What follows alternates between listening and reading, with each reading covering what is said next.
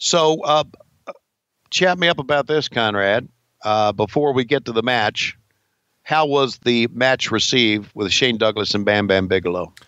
Not good. Uh, too long is uh, the common theme. They go 25 minutes. You know, Bigelow is north of 350. It's probably too long for him. It only gets a star in three quarters. Okay. Wow. So not everything. And see, I, I had the impression back in the day when I was elsewhere and I didn't watch ECW, but I always had the impression that fans and Meltzer absolutely loved everything ECW did. Everything was five stars. Everything. They loved it all. But apparently I was wrong, right? Yeah. I mean, there were some things obviously they shit on. I heard Schiavone up here talking shit on his podcast with that fucking fat fuck from Alabama, Conrad. I hear that talking about me, Taz. I told Conrad not to say my fucking name no more. I'm up here cutting a promo with a chew of tobacco in my mouth. No, they're not parking lot panties. It's tobacco. What are you looking at? Yeah, I used to have a podcast. Now I got a radio show. I turned this shit into a real hustle. Now I talk to the marks about sports, like lacrosse. Hmm. Well, well, I don't know what to say. Say something, Joey. There you go. Thank God. So there's your next pay per view, Yeah. which we got to cover sometime. yeah. Living Dangerously, which I believe happened on the day my grandmother died. What uh, What is it about this pencil thin mustache on our ring announcer here? I don't know. He looks like he's a, a maitre d or a porn actor or both. Yeah. Or It's Bob Ortiz, by the way. Bob Ortiz. Or maybe he is a refugee from Honduras. I don't know. What do you think of this uh, entrance set here? Uh, it's unique. It I, I like it the fact that it has orange lights like we do in Patreon. That's our color. It feels a lot like uh, Jim Crockett Promotions, like a Starrcade setup from like '86. Yeah. It's all what the budget will afford, right? By the way, the, little- the little dude with the uh, who's following Bam Bam to the ring, Yeah. that is the Pennsylvania State Athletic Commissioner. He was a big, Really? he was a big wrestling fan and just wanted to be around the business and would give ECW and various different folks who ran in Philadelphia a hard time. But I think he just really loved the business. Not a lot of people very positive about him. Well, there's I, I uh, throughout the years I have never heard anything good written or talked about when it comes to pro wrestling about a state athletic commission. Accurate. I agree with Yeah. that. Uh, and and uh, I I think we can call it like we see it here. A state athletic commission. They were just looking For a payday. for mu- Yeah, that's all. and you know they a lot of them were were big wrestling fans so they wanted to get you know, pictures with the guys and hang around the guys and slide some hundred dollar bills in their pocket every now and again and roll tide and it's it is the main reason. I, I think it's well documented. I, I'm saying something I'm sure everybody knows. The main reason why Vince says we're not a sport, we are entertainment, because he wanted to get those motherfuckers off his back. And believe you me, they were motherfuckers. so i, I want to tell you this is uh this was a big show for ecw it was a big crowd and it's in pittsburgh and shane douglas is local to the area so he helped sort of co-promote this locally and really wanted to pack the place. And it's his crowning moment. He is going to be challenging his nemesis and former member of the Triple Threat. Of course, he's out now, and it's uh, it's a new era for the franchise. And this is supposed to be his crowning moment here in front of his hometown crowd. And Meltzer would remark in the Observer that it was sort of a, a tepid reaction. It wasn't the big pop. It wasn't Flair and Charlotte or Bret Hart in Calgary. I love this uh, behind the scenes shot of him getting ready and coming through the curtain. Though that was very cool. What's wrong with our girl here? She's on crutches. I, I know. Did somebody hurt her? Damn them. Damn them. But I I'd thought been- you would. You, you don't hate the crutches because look what it does. No, it, it, it poofs those things up. What She- the, the crutches? Yeah, the cru- that's right. I'm looking right at the crutches right now. Absolutely. Hey, It, uh, uh, what company do you think manufactured those crutches? Oh, it's it's a company out of uh, out of City, North right? Lan- Yeah, out of out of North Lansdale, Pennsylvania. It's called Patreon Crutch Inc. As as you know, we kind of rely on a Patreon crutch at times. Uh, come on, give me the shot I'm looking for here, man. No, I'm not Bam Bam's head. Come on, motherfuckers, let's go. When you've got, there you go. Man, I, I, I got to say, I've seen a lot of people on crutches, but no one can work a crutch like Francine. oh, God. What do you think Bam Bam's thinking? Man, he's thinking, man, look at her on them crutches, man. Man, look at her. Look at that girl. Huck. Why didn't I have Blue Chew with me? Why don't just why don't just someone just backhand that athletic commission guy? She's not going to be able to get in the ring, is she? With those, oh man, we need we need Francine in the ring. We need Francine in the ring. Come on now. Ah, thank you, sweetheart. I, there you go. That's what I'm talking about. Do you know what? I've I've seen pictures of her at autograph signings. She she is still all the way live. Are you you on Blue Chew right now? What's that? You on Blue Chew right now? No, but I right now no. Okay. She's my own personal blue chew. You see, if you know where I'm coming, but she just all the way live and just uh, Are you okay? yeah. I feel like you're Stay- having an aneurysm here. You know what? I just I I, I don't get it. You see, and and I I, don't get it. Uh, why they don't show there? That's what I'm looking. That's the shot I'm looking for, kids. There you go. Do a slow reveal. Come on, man. When you got a beautiful woman, well, go take a look at ugly ass Shane Douglas. You got a beautiful woman, you got to show her. And look at that sign. You are in Francine territory or was that franchise territory? Welcome home, franchise. Okay. I believe Shane Douglas still has that belt that uh, is in Bam Bam's hand. Really? Yeah. Have you offered to buy that from him?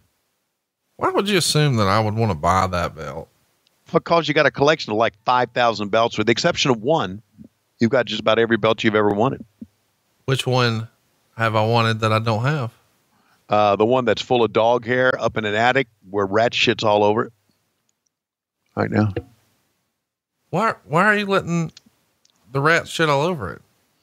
Well, uh, That, that's. I mean, I know that's what Klondike liked. okay. I don't, well, I don't tell the rats where to shit. You know, they shit where they want to shit. Listen, speaking of shit, Okay.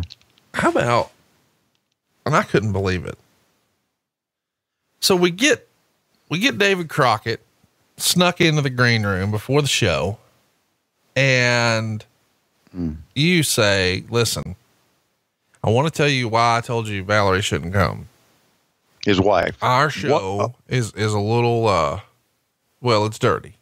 Yeah. and we're going to talk about nasty stuff and we uh we talk about Klondike Bill on the show and immediately he goes oh the way he used to have those girls shit on the coffee tables like oh my god like that's not supposed to come out of David Crockett's mouth and he knew exactly what we were talking about before we ever even met oh the way he used to have those girls shit on the glass coffee tables.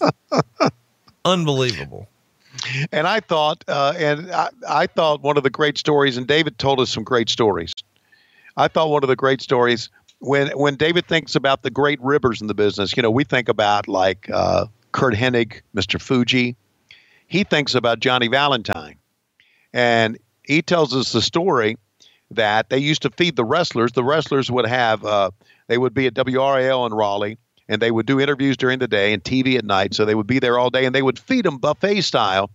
And Johnny Valentine a lot of times would shit in a cup. David didn't use the words. He said, "Do his business in a cup," but he would shit in a cup. And then, as he would be going through the buffet line, like let's say there was uh, country fried steak, he would dump his turds in the country fried steak and stir it up. Uh, and none of the if if Johnny Valentine was in line, you wouldn't eat that day. You made sure you were in line before Johnny Valentine. What type of person, Conrad, would it take to shit in country fried steak? We'd have to ask Sean Waltman.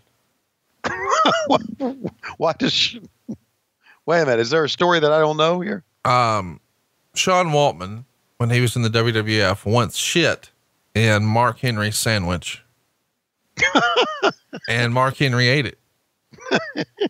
Mark did not notice that it had shit in it, and it wasn't until they spoofed the Nation of Domination as part of DX, Yeah. where he called himself Mizark and painted Yeah. himself black and talked about eating shit that the rib was revealed.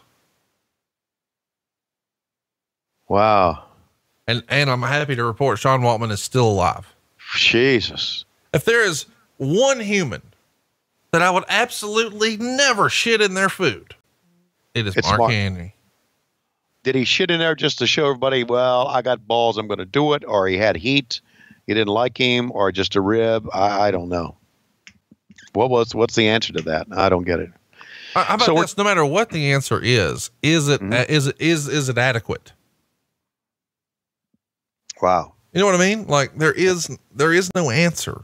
Like Yeah. no matter what the answer is, it's not it's not sufficient. You, you, Yeah. You're shitting in a dude's food. Yeah. So we we're talking about shit sandwiches here. And Shane Douglas is having a match. Coincidence? No, I'm not sure.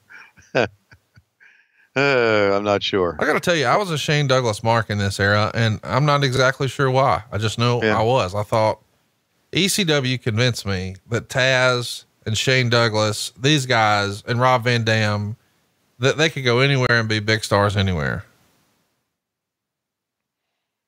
Shane, uh, Shane was. I I can understand why you were Shane Douglas. Mark, God, he could talk. Anybody that could talk w- was over. What's he going to do? Is he? Was he threatening Francine? Yes. That motherfucker. Don't ever do that. She's a lady. Why? She's absolutely a lady. Yeah. Yeah, boy, you, you can tell they they were given a lot of time for this match and knew it. And so they are just taking their time here to let the time go by. Heyman would tell Dave Meltzer that the previous match was going nowhere. So they cut it short, and that extra time went here onto this match. Wow. All right. Well, I I guess that's that's a good excuse as any for a fucking match. It's still got about twenty minutes to go, or so. Oh God. Yeah, you know, look, you got a guy the size of Bam Bam Bigelow. He can't give you long matches. I mean, he can. He can give them to you, but he shouldn't be asked to because you're going to get things like this just grabbing the top rope and leaning and driving a knee into the throat or something like that. Looks like we did. Looks like, uh, and this obviously outside of Pittsburgh, we had some. Uh, look at this! Wow, pickup. That's a pretty good spot. Uh, referee, I'm going to make it a fast count to get the fuck out of here. Two count. Quite a look Bam Bam Bigelow had. He was ahead of his. Hello, girl. So Francine's going to be at Wrestle WrestleCade. Yep. She to be there on Sunday. You I think? don't, I- I don't know. I'm not, I'm not booking this. I'm going to send her a, a message right now. What do you, I mean, Why do you want to? What's the I plan? wanna- I want to meet her in person. and do what? I don't know.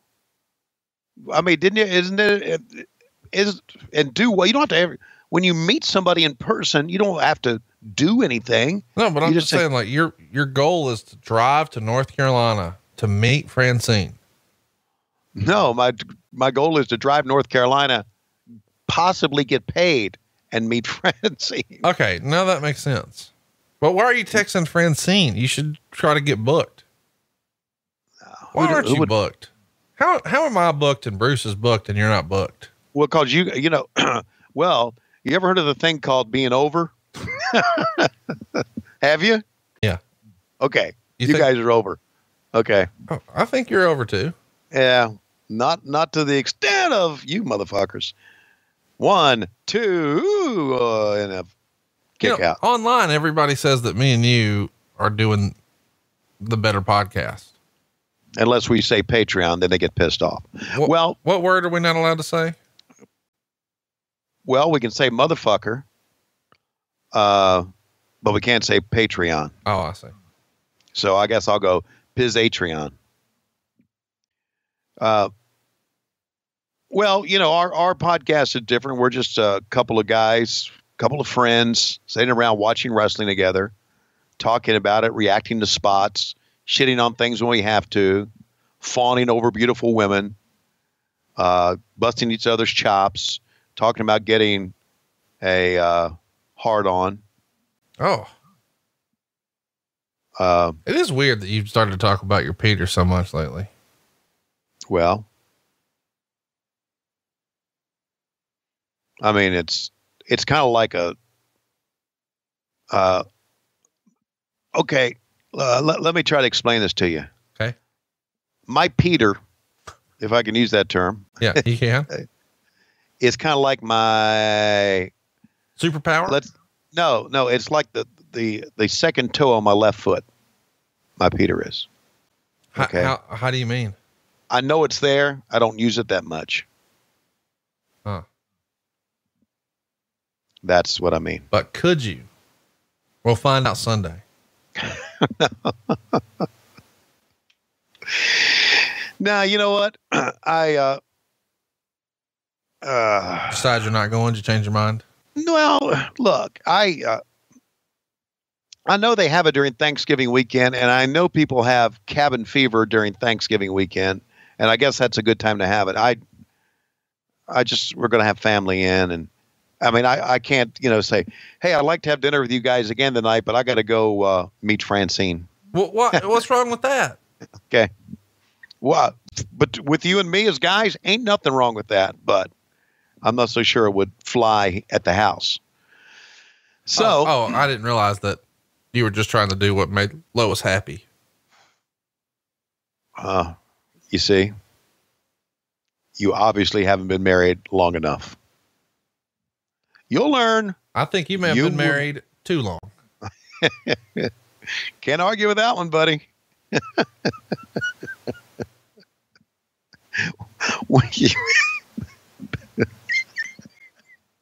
Every time I look at your grinning face, you know what I'm thinking of? What? Mama Schiavone coming somebody.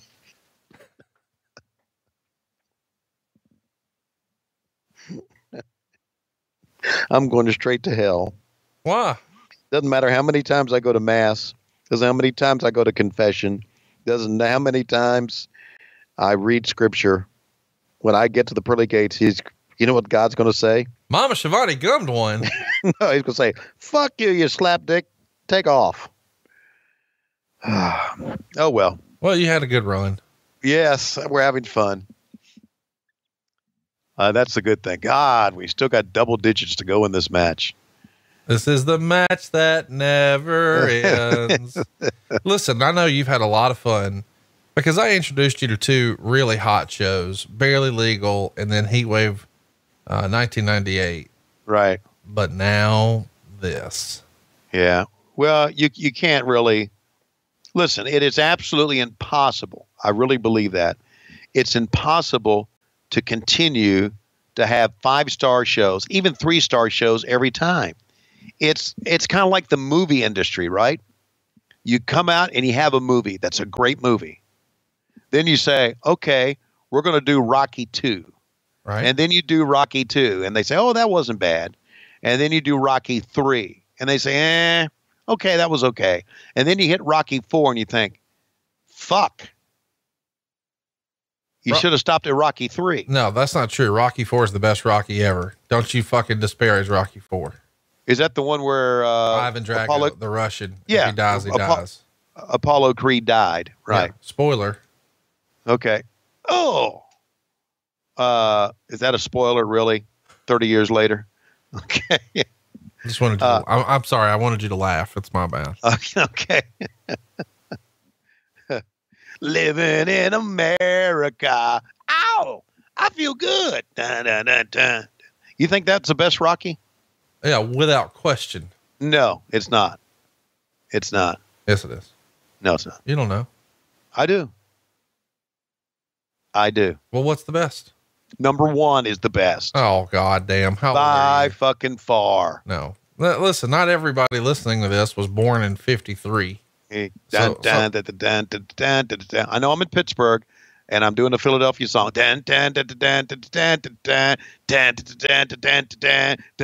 Adrian, I love you. Are you okay? I'm I'm gonna have to watch. I'm gonna have to watch it again. Yeah, Rocky. Rocky won one Best Picture. One Best fucking picture. What does that matter? You think it doesn't matter? No. then why all those slapdicks queue up in Los Angeles once a year around the end of uh, March, first of April? Because it matters. Hey, look, the, the table got ECW spray painted on it. Oh, oh God. Yeah, but look at people are not. I don't know if these people are leaving or not. It, it's funny. They used to used to run through with a sign up and down on the the aisleway there. Now they're just walking.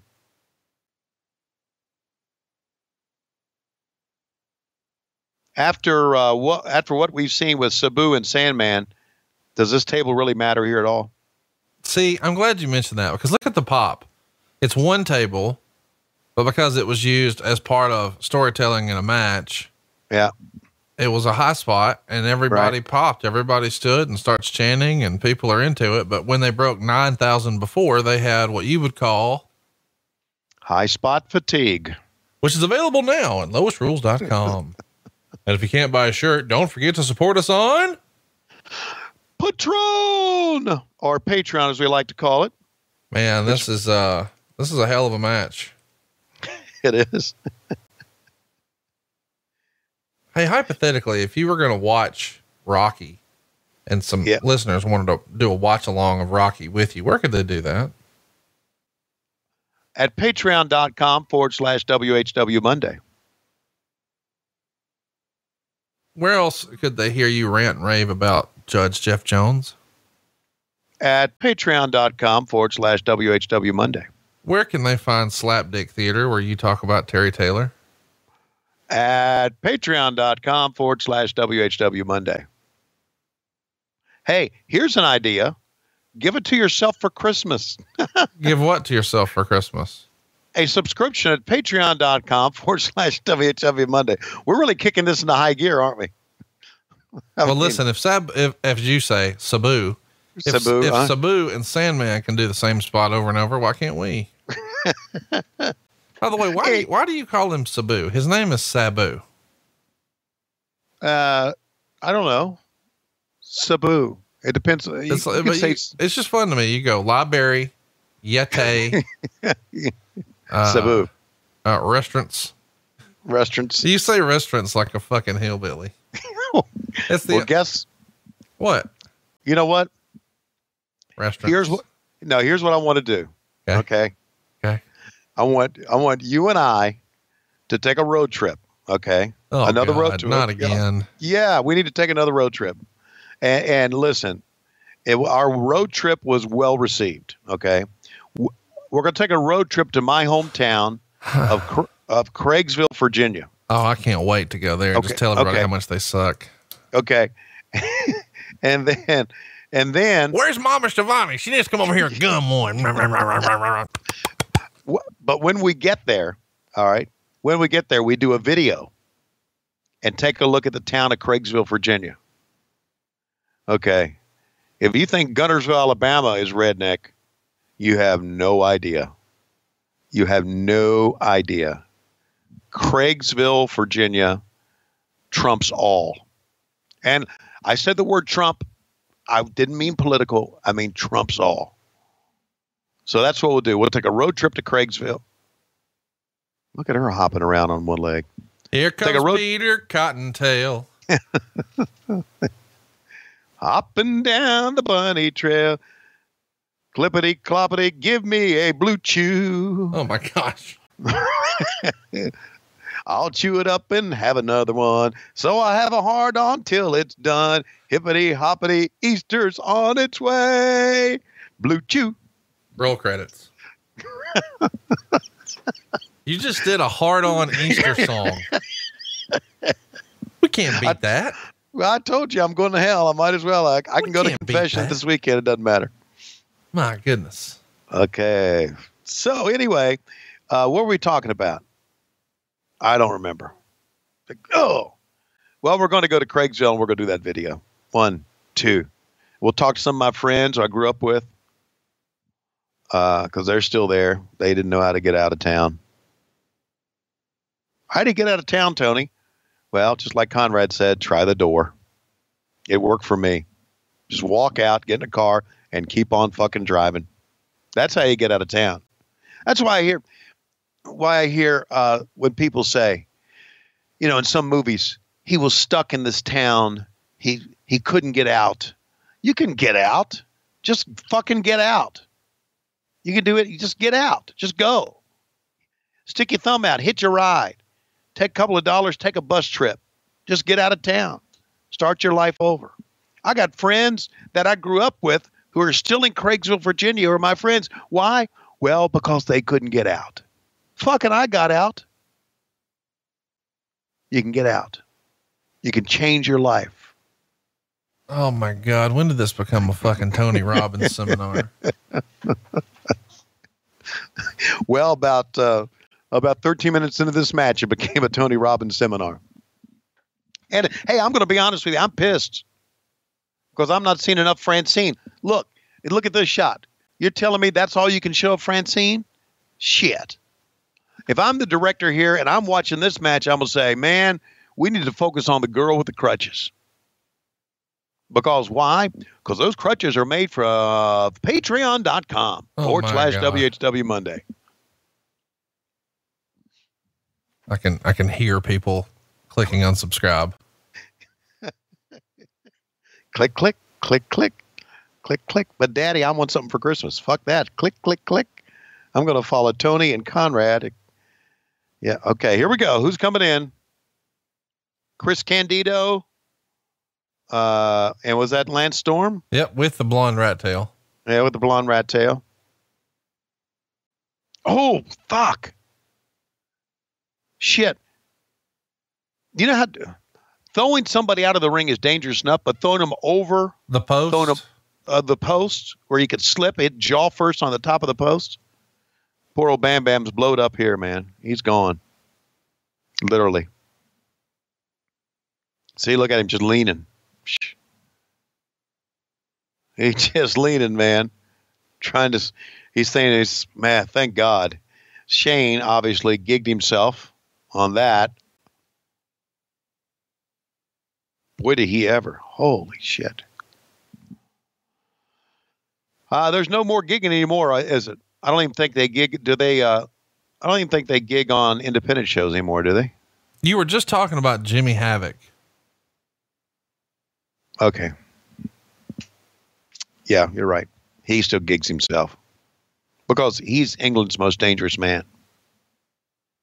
Because cuz you know in England they you know England they uh they're different than we are. They Now, listen, I, my mom was telling me about all their terroristic threats, and she read about how very recently they held a guy down and gave him a bunch of paper cuts and then squeezed him. in jail.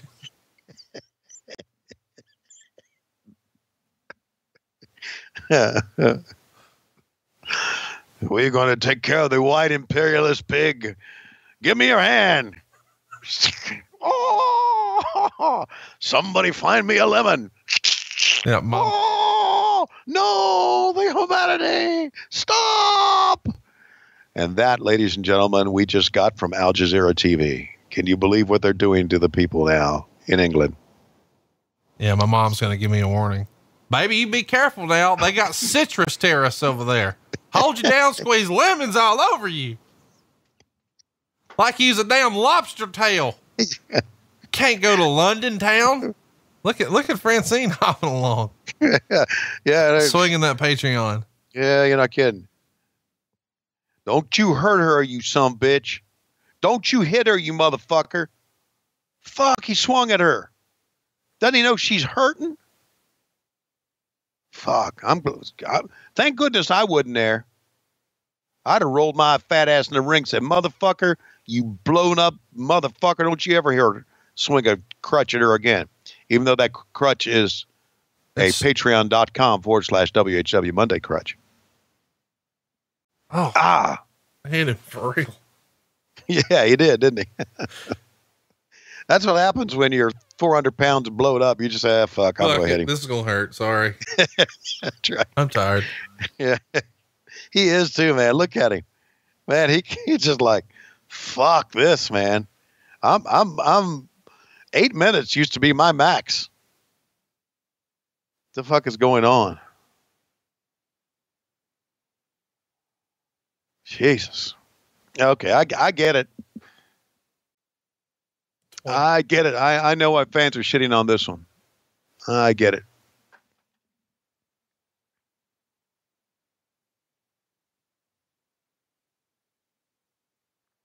Wow. That's all I can say as well. I think the actually what the funniest part of this now is that wow, how about that Beal? Big Beal. That is a Beal, right? Yeah. Yeah. Just want to make sure I got it right. I mean, you're the fucking guy who calls matches. Well, you know, they used to say Shemai didn't know the difference between a Beal and a hip toss. And I used to say, who gives a flying fuck? Just enjoy the match. Don't worry about what I'm saying. Don't worry about what I'm saying. Worry about how I'm saying it. In other words, if I say hip toss or if I say Beal, that's not like me saying hip toss. That's the finishing move, Magnum TA style, Wow. belly to belly. But now, can he cover him? Okay. Well, the fans kind of getting in the finish right now. Francine's responsible for that, by the way. Her beating on the uh, apron has got Uh-huh. everybody clapping in unison and getting with it. Yeah, yeah, she's she's she knows what's going on. She's very good at ringside. Not only beautiful, obviously, and not only am I obviously just drooling all over her, but she know how to work a match as well. So we get remnants of a table. That's table number 35 that was broken by Sandman and Sabu. Uh, and I was just thought he was going to sit his ass in that chair. It's what left of a chair and a table. the budget has called for 36 tables. We needed 37. So we'll just use the uh, we'll use the 36 table, what's left of it. Wow, there it is. One, two, three. How about the reaction of the fans here, huh? That's pretty fucking good.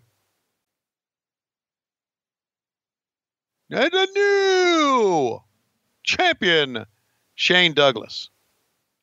So, Conrad, you end your pay per view, right? You end your pay per view like you uh, with on a high note, right? Am I right? Yeah, the Right, hometown hero Yeah, wins the world title in the main event. Pretty cool. Yeah. that is pretty cool. Candido and Lance Storm into well, try to celebrate with the new champion who is kind of down selling right now with Francine, and there it is. Shane Douglas gets the hero's raise, and his hand is in the air, and there's your ECW champion. All right. Well, for all the bad things that were in this match, I like the end. I always like what do you end with? Do you end with something good? You have them leave happy? I say yes. So, yeah, not the best pay per views in the world, pay per view in the world, but a very good ending for it. Overall, of the three pay per views from ECW you've seen so far, where does this one rank? Uh, number third out of three.